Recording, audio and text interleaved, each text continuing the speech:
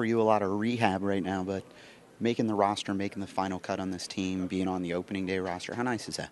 I mean, it's a it's a big honor to me personally. Uh, getting hurt, not being able to kind of do anything for a whole summer, you know, it had to you know hold you back a lot. But they have faith in me and show loyalty, and that's something that's greatly appreciated when you have to kind of be the spectator, are, are, you learning more? I mean, sometimes they say, you know, learning with the coaches, learning from the bench is where you pick up the most in the NBA game. Oh, yeah, you pick up a lot. I mean, not being able to play, and now you got to do something to kind of keep your mind in tune with basketball. So I just pick something up every game. You're able to see different things. I think as a point guard, you see different angles and the way you play pick and roll differently. So I'm used to my advantage when you look at this team uh, from that spectator, that basketball junkie point of view, how good can this team be?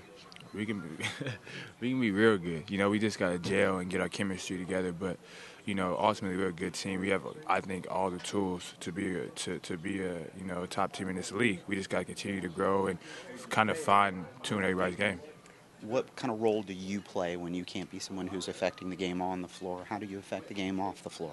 I mean, you just gotta be positive in the locker room. When other guys are down, you gotta, you know, keep up. You know, try to keep their spirits up, and then, you know, you see things differently being a spectator. So you just kind of not coaching, but you let guys know you could have done this, or you see this, try this. You know what I'm saying? So ultimately, you just gotta be kind of like a, a leader in the in the locker room and in the practice court.